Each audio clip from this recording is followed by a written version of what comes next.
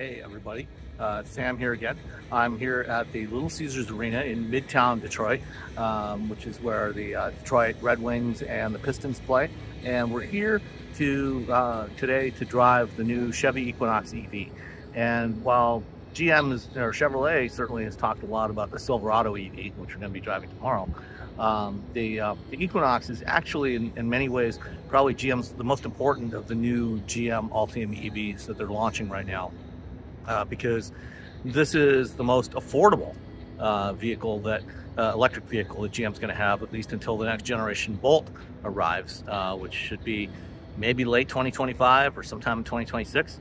But in the meantime, we've got the Equinox and uh, we've had a chance to drive it. Can't talk to you about that just yet, but let's give a little, take a little walk around this vehicle.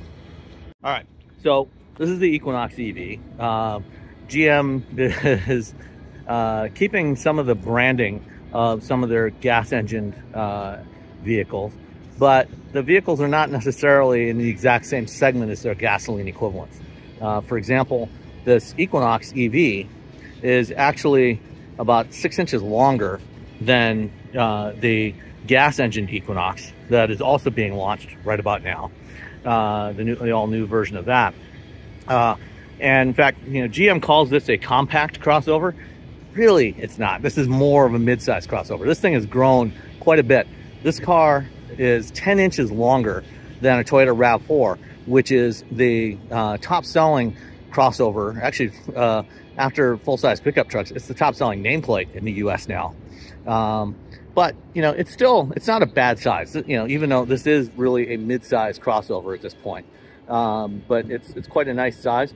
Very attractive design. It's consistent with the, the direction that GM's been going for some of its uh, smaller crossovers over the last year or so, ever since they launched the Trax, the, the second generation Trax. Um, so, uh, and they, they've diverged this quite a bit from the new gas Equinox. Uh, so the gas Equinox has gone for a more rugged off-road, off-road uh, outdoorsy type look, even though it's not really an off-road vehicle. Uh, whereas this is much more car-like, um, you know, GM talks or Chevrolet talks about their design language being uh, on a spectrum between what they call um, velocity and uh, oh, I can't remember now, but it's you know more work related, you know, toughness. Um, with the, the trucks and the bigger SUVs being at the tough end and the velocity being at the, the opposite end. Um, and the way you can tell them apart visually is the velocity vehicles are uh, you know, car, you know, things like the Corvette, the now defunct Camaro, uh, some, and uh, the previous generation Equinox. You look at the wheel wells. The wheel wells are round, whereas if you look at the new gasoline engine Equinox, the wheel wells are like the big trucks, the big SUVs. They're more squared off. So this is, you know, very sleek shape uh, to this vehicle. Uh, this is an RS trim, so this is the top trim level. Um, this is available in front wheel drive with uh, 233 horsepower uh, and an all-wheel drive, E all-wheel drive version with 288 horsepower.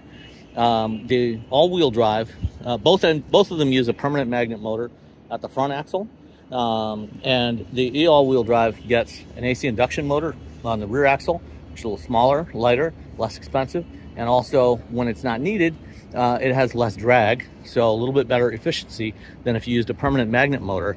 So it's not really designed for performance. It's more like what we would typically see on an all-wheel drive crossover, where the uh, uh, the the primar they're primarily front-wheel drive, and then they kick some torque to the rear axle uh, on an as-needed basis when uh, when they need some extra traction in low traction conditions. And this particular one is set up right now. It's full of hockey gear. There's two full hockey bags, skates, all kinds of other gear in here, you know, for two hockey players with the back seats folded down. So you can see there's quite a lot of cargo space with the back seats folded down. But even with the back seats up, you still get quite a bit of cargo space. Uh, and the uh, the interior, again, you can see all the space in here. The interior of this, all right, so I am really a fan of the look of the Chevy Equinox EV. Uh, I think it's a very sleek, modern shape, um, not as cluttered, not as overstyled as the Blazer. Um, you know, it's a it's a little more restrained, uh, but I really like this, especially this color combination of the white roof on the blue body. Let's take a look at the back seat. It's very roomy back here. There's definitely more than enough room for two broad-shouldered adults. Uh, three, if they're not, uh, if they're a little slimmer, certainly three kids, no problem at all. Um, lots of leg room down here. Uh, I'm about 5'11", and plenty of headroom as well. And the back, the front seat, also very comfortable. This back seat is uh, surprisingly comfortable. It uh, got decent amount of support. Could use a little bit more uh, thigh support, um, but it's not bad at all.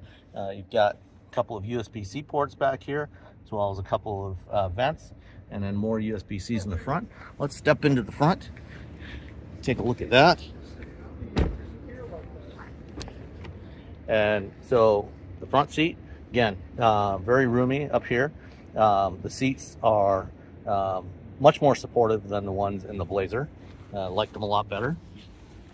Um, this does share a, quite a few components with the Blazer uh, and with GM's other, uh, most of GM's other newer vehicles. Oh, can't turn it on, no key in this one right now. Uh, but you have 17.7 inch uh, touchscreen here in the center, uh, 11 inch instrument cluster display up here.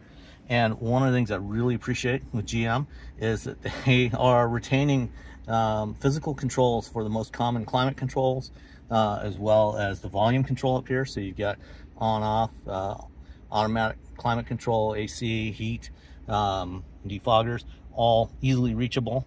Uh, you don't have to search around with uh, in a touchscreen interface. Um, and I like the round vents in here. One of the touches I particularly like on, on these uh, blue ones here uh, is the blue trim here on the door panels and on the dashboard to go along with the blue on the outside. I think it's a nice contrast. It looks really good. This particular one, as you can see, has the um, infrared camera for the driver monitor system and the light bar, uh, which means that this one is equipped with Super Cruise, so hands-free driving assist capability.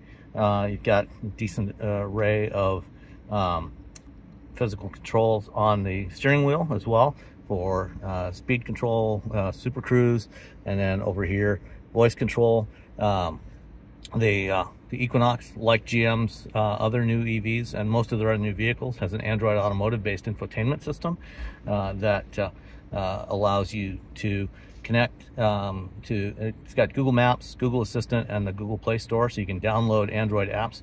They run directly on the vehicle in the infotainment system, so you don't have to pair up a phone. Unfortunately, they, it does not have does not include support for Apple CarPlay or Android Auto. Uh, so, particular for Android users like myself, not so much of a problem because uh, you can download most most of your favorite streaming apps uh, and even uh, so you can get YouTube Music, Spotify, whatever you like, Pocket Casts. You can download those, run those right on the infotainment system.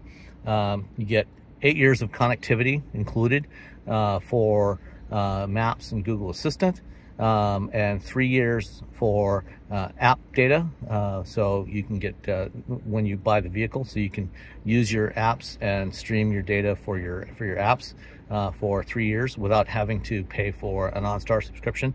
After that, you will have to pay for an OnStar subscription.